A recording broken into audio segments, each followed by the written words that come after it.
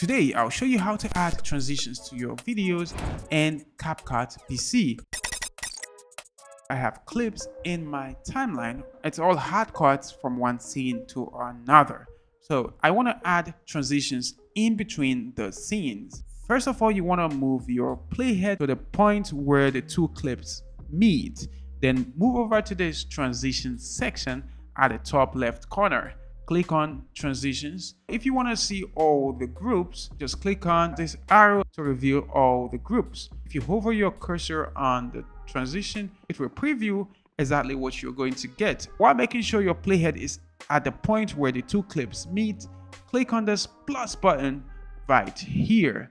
Now click on it, it automatically adds the transition to your clip. Now you can replay this to see how it looks like wow, the transition looks too fast. What can I do to make it better? Now, you can adjust the duration of any transition you add to your timeline by clicking on this slider right here and dragging to the right. So let's make this a one second transition.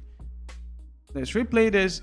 Now it's a lot better. Let's try out another type of transition. I will move over to this camera section right here. If you notice, the plus button is not showing for most of the transitions. That's why you need to have internet connection if you're editing on the CapCut PC. To use this transition, I have to first of all download it to my computer.